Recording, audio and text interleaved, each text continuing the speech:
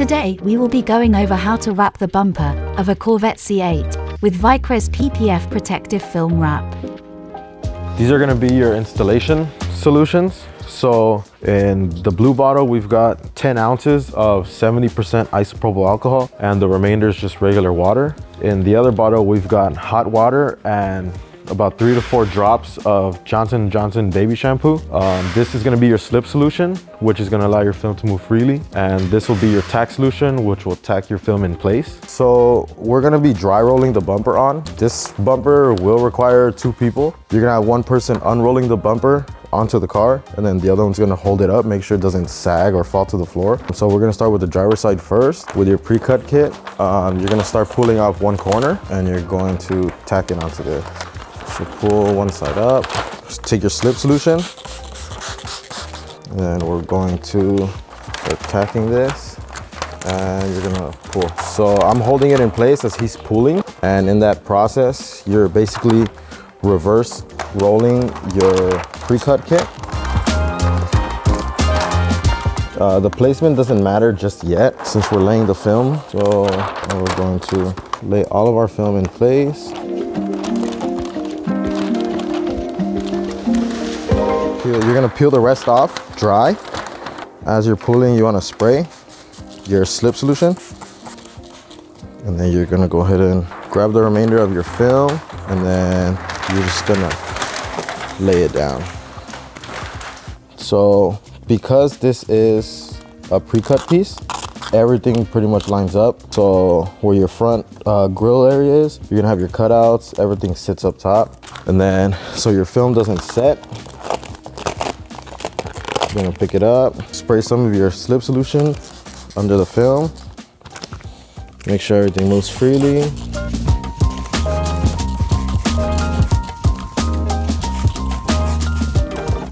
You wanna spray everything but your corners. Keeping your corners dry is basically what's gonna help you hold your bumper while you work from one side to the other. So we're gonna go ahead and start with our driver side.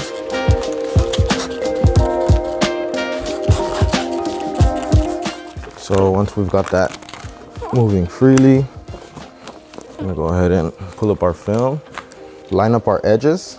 So now this is where you wanna grab your tack solution, spray your film, spray where you're gonna lay, line up your corners, and then you wanna grab your squeegee, tack that corner down.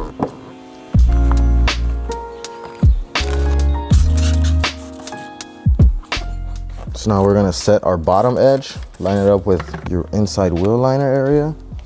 Go ahead and let that set, hold it in place, a couple seconds, and spray some, some tack solution. And you wanna work your way from top to bottom.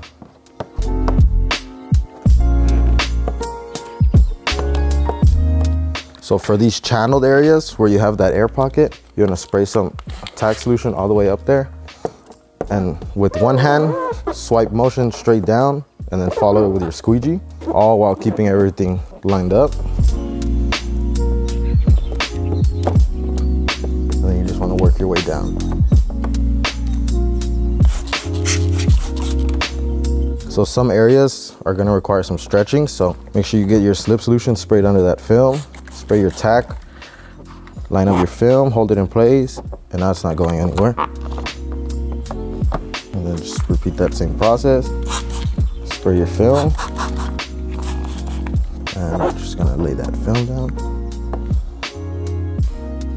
Now we're gonna work our way towards the center. You're gonna start working piece by piece. Make sure your film is moving freely. And you're gonna spray some tack where you're gonna tack, which is usually the top points. Spray some slip solution so you can move your film.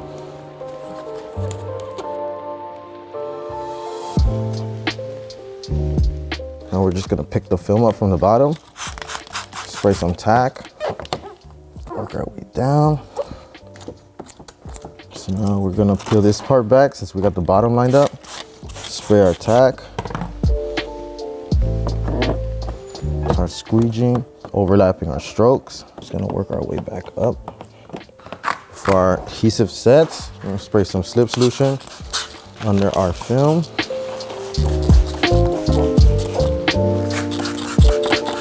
Remember you wanna spray everything but the corners that are holding your film in place so we don't run that risk of it falling on the floor. Going to spray our corner. Hold it down, squeegee, hold it down.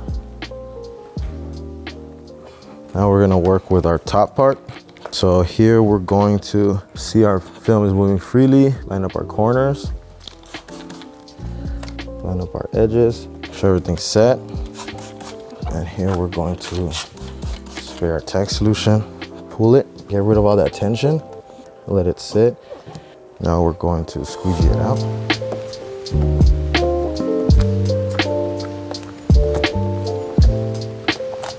And you want to spray your slip solution with hot water.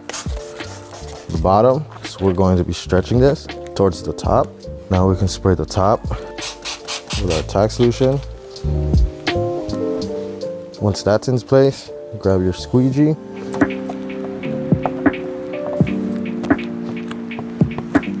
Make sure everything's lined up, which it is. Everything's good to go for the other side. So we're just gonna continue making our way over. Lift your film up, spray some tack solution.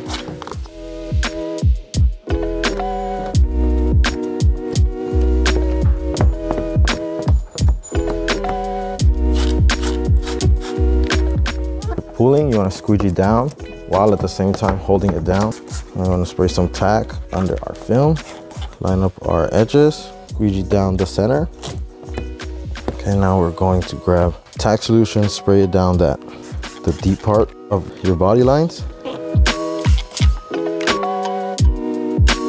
All right, so there's a couple options for pre-cut kits. If you like to debadge your vehicles, you can opt for the non-cutout, but in this case, we have a cutout. So we can we can pull it off or we can leave it on. If you plan on putting the emblem back on, you just peel this off and it gives you basically your placement to have it dead center as if it came from factory.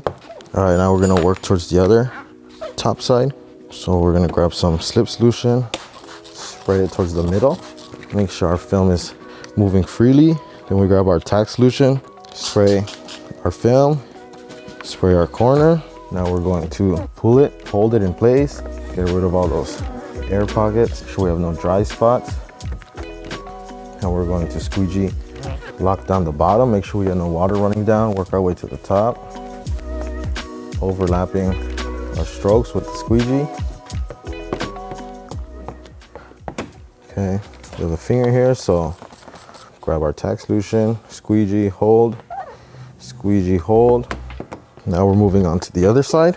Here we are going to lift and spray tack solution. I'm sorry, slip solution. So in this case, you wanna pull off everything but the top piece of your inner grill so your film doesn't fall. Spray the bottom piece of our film with tack. Flush out your slip solution down there. That down. Line it up with the bottom. Hold it for a couple seconds. Now your film's gonna move freely up top. For our film. This recessed area right here, same process as the other side. Flush out your slip solution.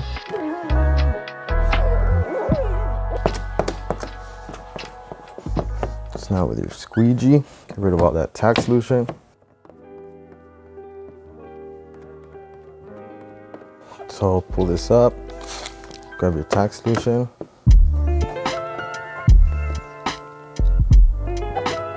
We're gonna work our way to the bottom. So now we can pull this top piece off. We're gonna spray all of this with slip. Squeegee the slip off from here. Give you those dry spots. Spray your tack. Here we're gonna stretch. That's tacked. Now we don't have to worry about the top, which is good. So we've got all that lined up now. And we just spray our tack solution down here. Hold it for a couple seconds. Start squeegeeing. Your tack solution down here.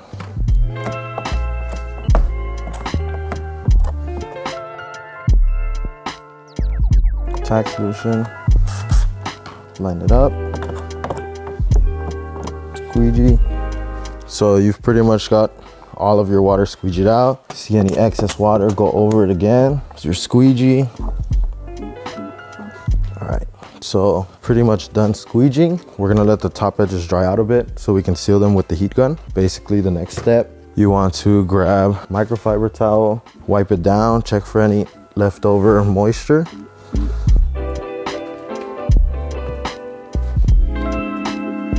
Grab your tack solution, seal the bottom edges.